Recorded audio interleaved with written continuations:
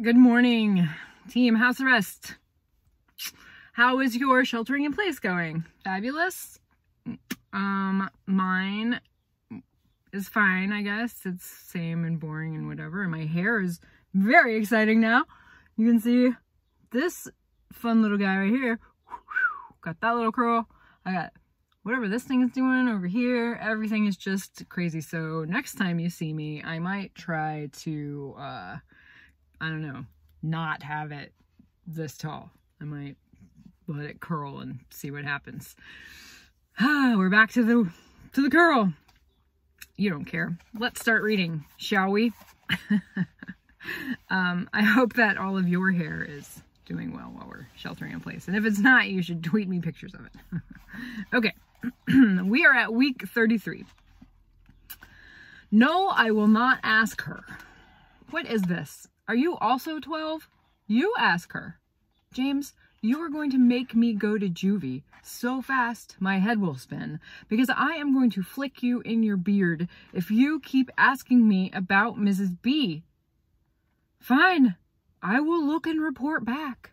You know she reads this though, right? This is not very sneaky of you. It was like 147 degrees this afternoon. I'm not exaggerating. My jeans were stuck to me in places you don't want to think about. Where are your shorts, Timothy? Mrs. B was wearing a floaty dress. It's so hot. You'll get heat stroke wearing jeans. I didn't say anything. Go in there. She pointed to her tiny bathroom. Hand me your jeans. My swamp-ass jeans? That haven't been washed in weeks? No way, you crazy lady. That's not what I said, though. I just shook my head. A broken record head shaker. Then she snapped at me. A hurry up mom person kind of finger snap. So I went into the bathroom, hid behind the door, threw my swamp ass jeans at her, waited, hidden in my underpants, face hot, butt cooling off. After a few minutes, knock knock, a hand reached around the corner like in a horror movie, but instead of a hatchet, this hand was holding shorts, cut off shorts that used to be jeans. I put them on. My knees breathed for the first time in weeks. I stepped out of the bathroom and Mrs. B smiled, a triumphant benefactor. Those were Jose's jeans, I said. She stopped smiling. I started smiling. Then I started laughing, and she started laughing, and I thought we would never stop. Dear Dr. Sawyer, subglottic stenosis. That's what Levi has. I know you know what that means. It is like taping your nostrils shut and trying to breathe through a tiny coffee straw glued to your lips. That's why he has the trach. Your website says you fix things like this. And since you have a website, I imagine, and I am only guessing here, you must know how to use a computer. Also, your super fancy fingers that can magically fix tracheas must also be able to, and I'm still guessing, type emails. Please write me back, Timothy. It's so hot that if the sun had a sun and that sun had a sun, and you put all of the suns together in one giant oven set on broil, then set that oven on fire, that would be about half as hot as it is today. Just walking to Jose's house, I sweated about 16 gallons, which is exactly what Isa said when she opened the door. Did you sweat 16 gallons walking over here? Her nose turned up. Shut up, Gordita! Jose pushed her out of the way, pushed a controller in my hand. Aliens to kill, bro. Stat! I gave Isa a look that hopefully said, Sorry for being gross. Sorry your brother is an idiot. Sorry it is the fiery hotness of 10,000 suns today. She gave me a look that said, Take a shower. Don't. Mom pointed at me before I could say anything. Papers all over the table, a calculator, Carla Ramirez's card, an open brochure for the facility. Don't. She couldn't look at me. Couldn't look at Levi in my arms, signing more dog instead of brother, pulling my hair. Don't! She shouted it this time, standing up fast, fluttering the papers, knocking the chair over, making Levi cry. I didn't say any. I tried to talk, but she pointed at me again. She started to cry, ran upstairs. Mama's sad, Levi signed. Mama's sad, Mama's sad, Mama's sad. He just kept signing it until I put my hand over his hands. Yeah, little dude, Mama's sad. More dog sad too.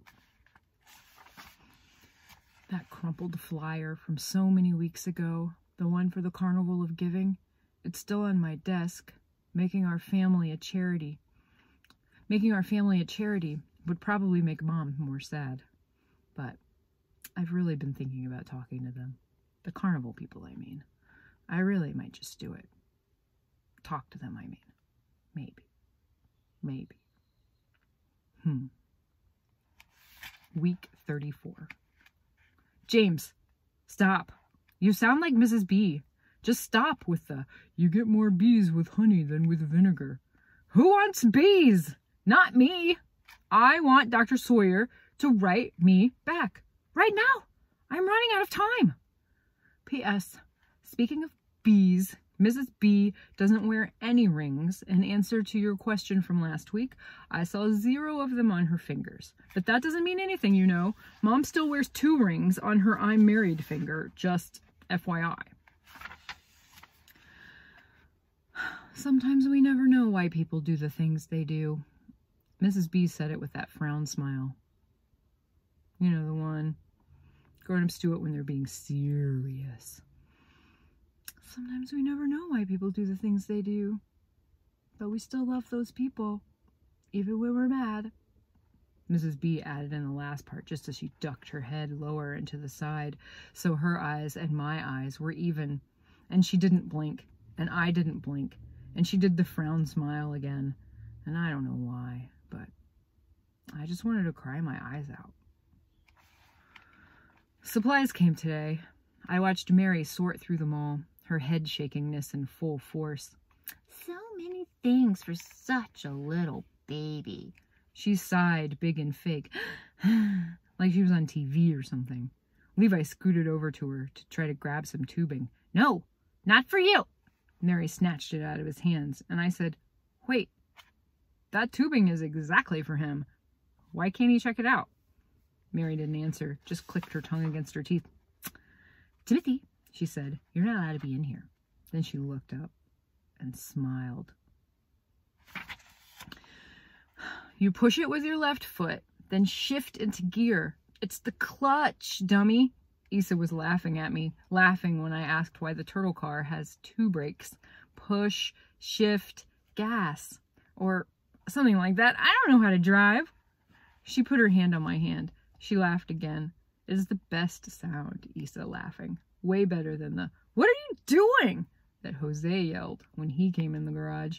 The engine still isn't working. It's not like the car was on or anything, though I'm kind of worried he wasn't really mad about the car. Him. You can't. Don't. Stop. No. No! Mom's on the phone. I may or may not be pressing my ear to the door listening so hard I can hear my heartbeat in between her words. I don't know who it is. I'm too afraid to ask. That's going to do it, folks. Um, I hope that you're enjoying yourselves with this read aloud. I'm really enjoying reading it to all of y'all. And I forgot to tell you, we got a question, um, or I got a question uh, on Twitter from a teacher who asked uh, why the O in house arrest is yellow. Um, and my answer is I don't really know because um, this these are choices that the designer makes and that marketing and, and all of those people uh, decide on. But uh, what I like to think is that the O is yellow um, because it's Timothy's room um, and the light is on upstairs in his room. So that's what I think. Um, if you have any more questions, feel free um, to track me down on Twitter.